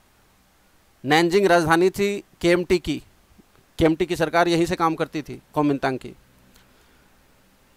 तो बहुत सारी यहाँ पर घटनाएँ होने वाली हैं, बड़ी मज़ेदार मज़ेदार घटनाएँ हैं, एक ध्यान से सुनेंगे। पहले आगे वाले हिस्से पे चलते हैं। सेकेंड सिनो जैपनीज वार कब से शुरू हुआ? जुलाई उन्नीस सौ सैंतीस से 1945 तक। Marco Polo bridge incident resulted in full scale war between China and Japan देखो, ये आप, ये ये जो हिस्सा आप देख रहे हैं, ये मंचूरिया वाला हिस्सा है। ये आप यहाँ देखो पेकिंग देख रहे हो बीजिंग ये नॉर्थ कोरिया, साउथ कोरिया आप देख रहे हैं, ये जापान देख रहे हैं। जापान ने इस इस इलाके को अपने कब्जे में ले लिया था, चाइना का इलाका है। तो मार्कोपोलो घटना से यहाँ, दोनों देशों में झगड़ा शुरू होता है। Though Manchuria had been under Japan occupation in 1931 1931 से ही जापान के कब्जे में था मंचूरिया। सेकेंड यूनाइटेड फ्रंट अब देखो के और सीपीसी ने, दोनों पार्टियों ने सीज हॉस्टिलिटीज मतलब सीज फायर किया, आपस में झगड़ा बंद किया to fight the common enemy दोनों पार्टियाँ सहमत हो गई कि चलो भैया आप गृह युद्ध बंद करो। तो गृह युद्ध लगभग सात, आठ वर्षों से चल रहा था। दोनों ने समझौता किया कि पहले जापान को हराते हैं, फिर देखा जाएगा। लेकिन नाम का इन लोगों ने समझौता किया despite the agreement there was no true alliance between CPC and KMT CPC और केएमटी में वापस में कोई गठबंधन था नहीं, बस नाम का दिखाने के लिए, चाइना के लोगों को दिखाने के लिए कि देखो, जापान ने हमला किया तो हम लोग आपस में लड़ना बंद कर रहे हैं, ऐसा दिखाने के लिए। एक घटना और है, जियान इंसिडेंट है, एक बहुत ही मशहूर घटना है। जियान इंसिडेंट कहते हैं इसको। जियान इंसिडेंट में क्या हुआ था कि देखो के के जो लीडर थे के के लीडर हमारे कौन थे? चियांकाई शेख। चियांकाई शेख को उनके अधिकारियों ने ही अपहरण कर लिया। केएमटी के नेता चियांकाई शेख को उनके लीड उनके ही ऑफिशियल्स ने अपहरण कर लिया। बोला कि, भाई साहब, आप सीपीसी से लड़ने में व्यस्त हो।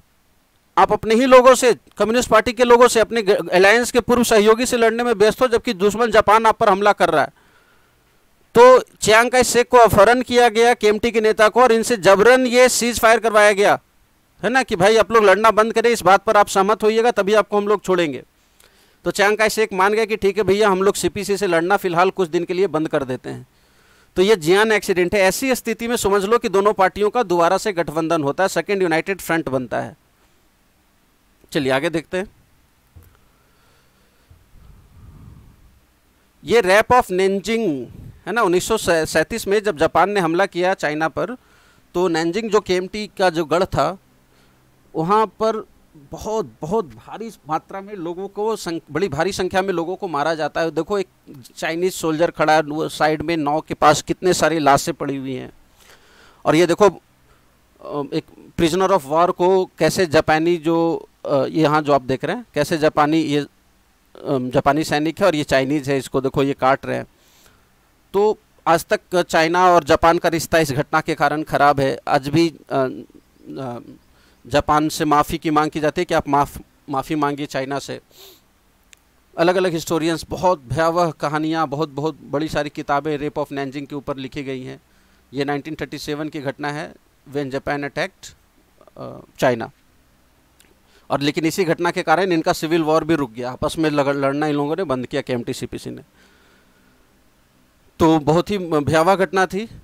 आ, माना जाता है कि कम से कम दो से तीन लाख लोग मारे गए, लाखों महिलाओं का, बच्चियों का छोटी छोटी बच्चियों का जो अकाउंट है, जो उनकी कहानियाँ हैं, वो विश्व भर में आज तक छपती हैं और आज तक जापान को इसके लिए शर्मिंदगी का सामना करना पड़ता है।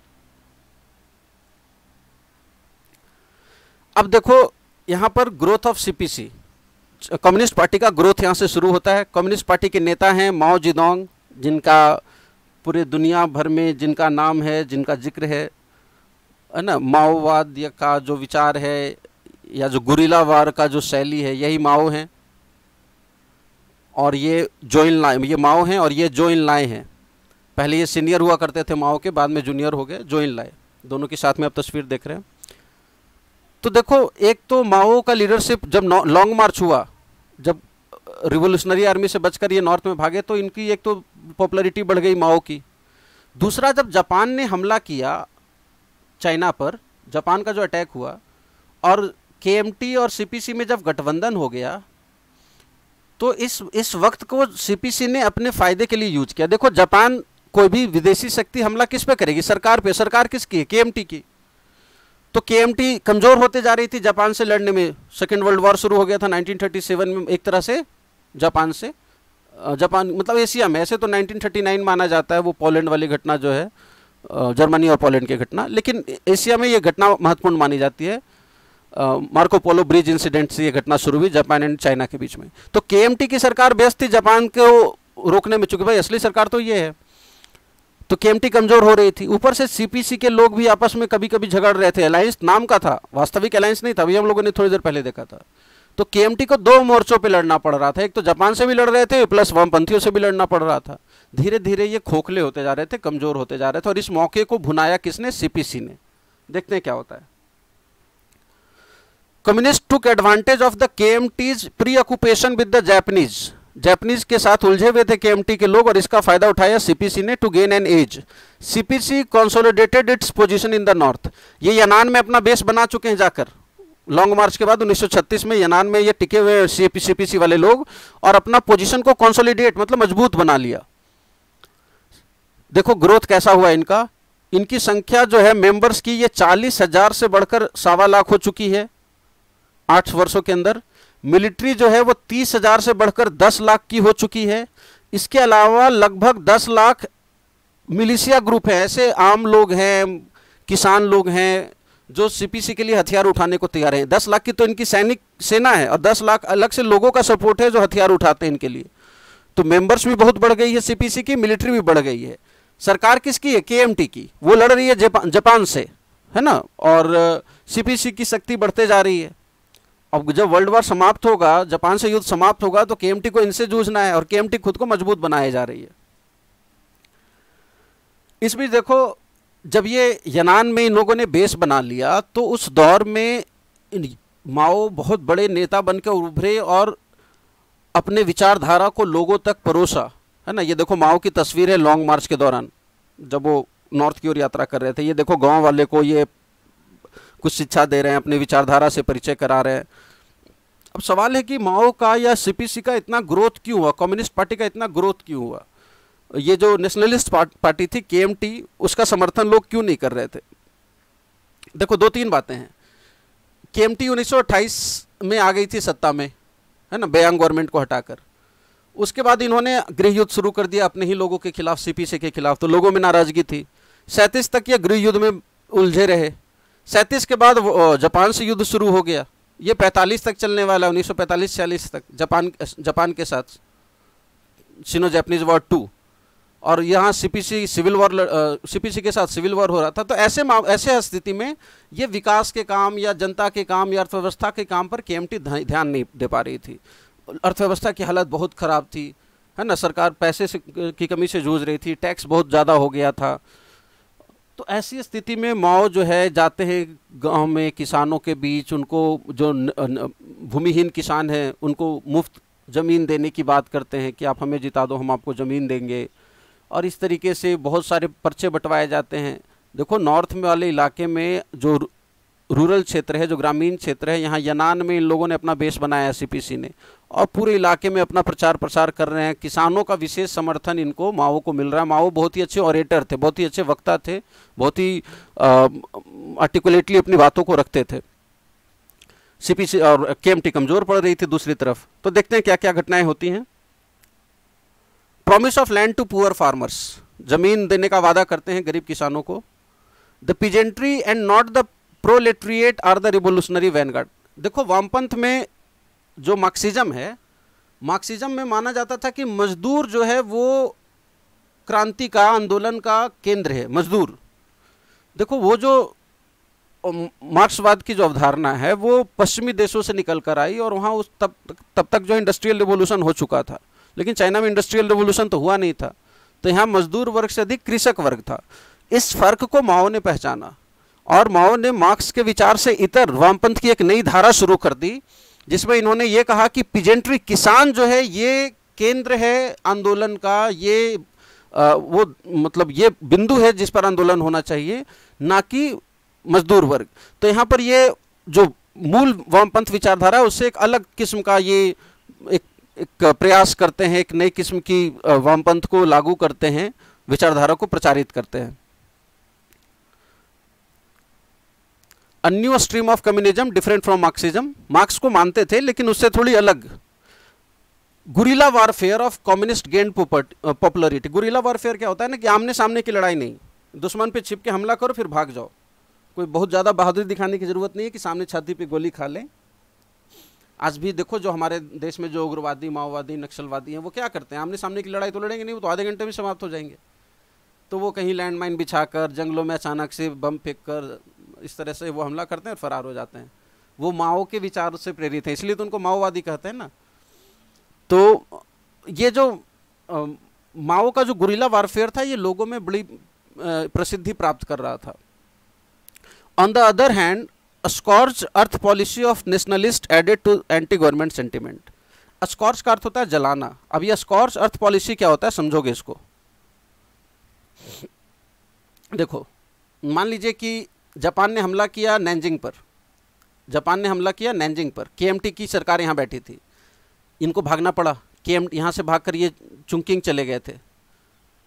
आते हैं उस पर।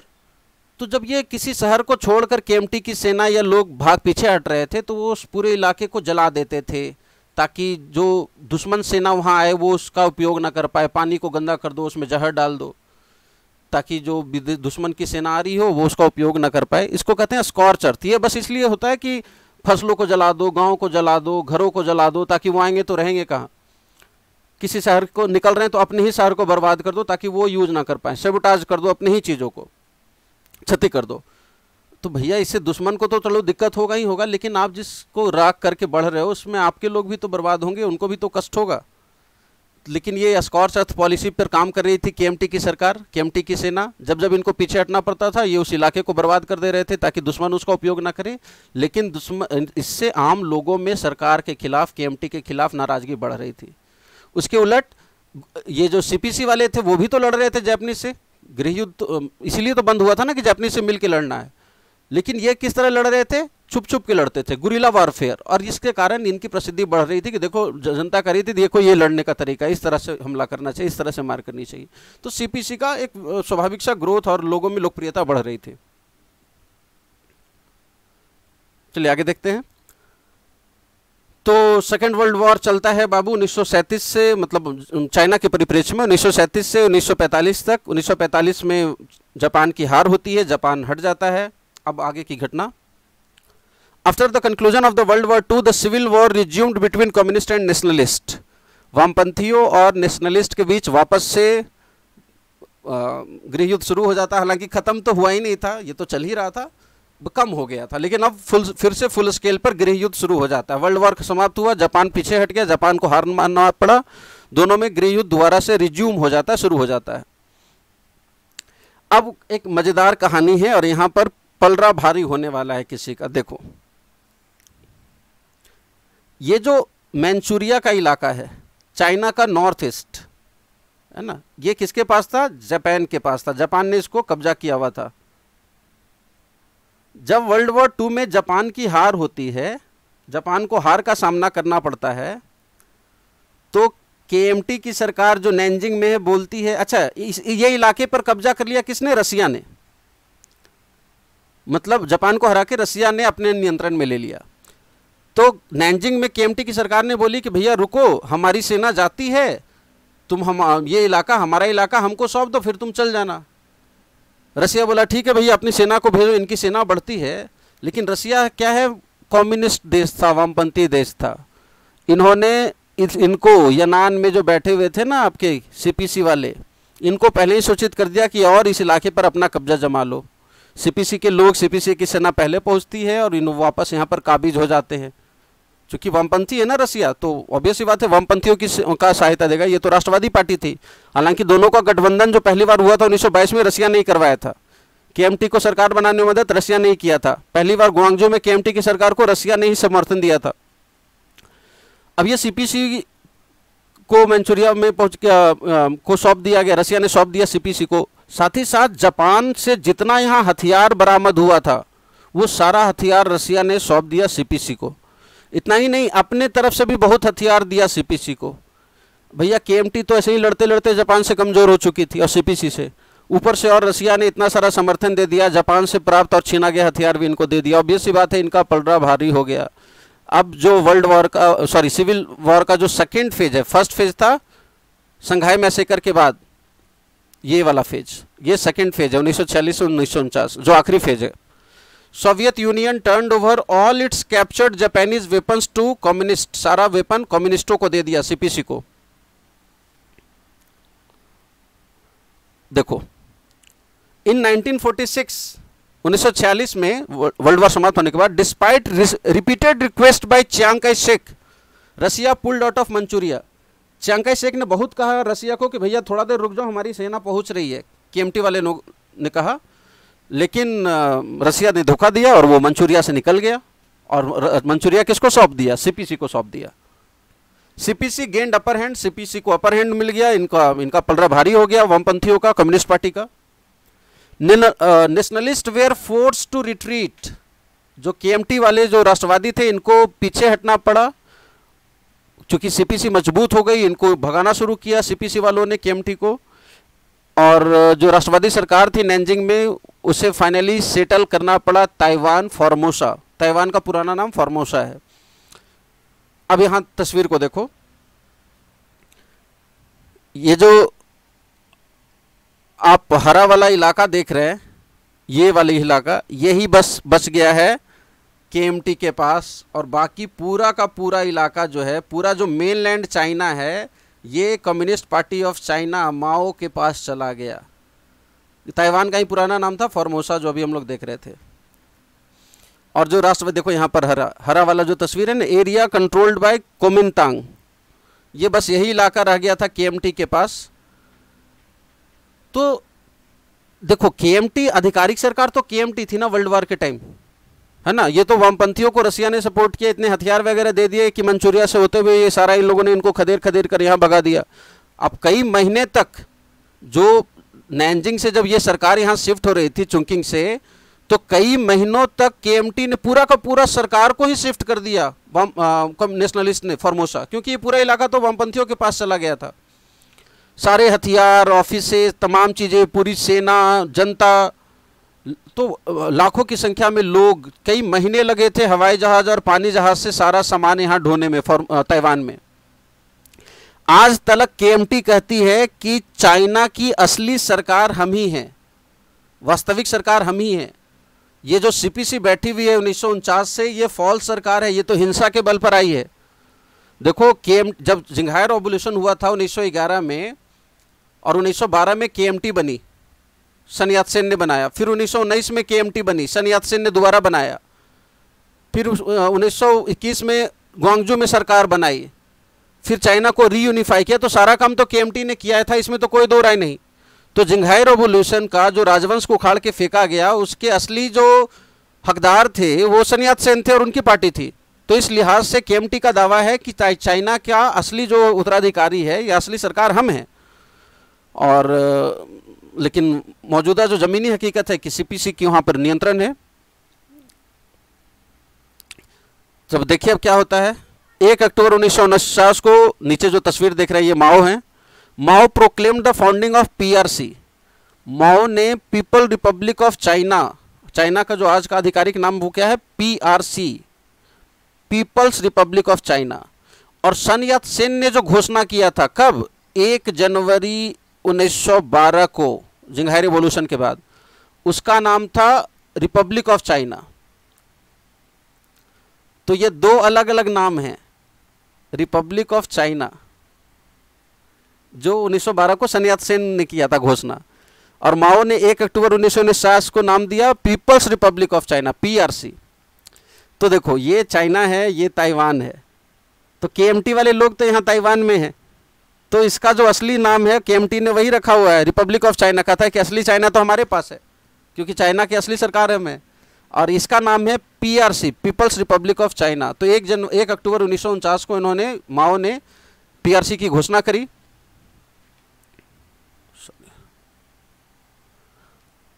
Nationalist continued claiming to be the legitimate government of China राष्ट्रवादी दावा करते हैं क्या उनकी असली सरकार है।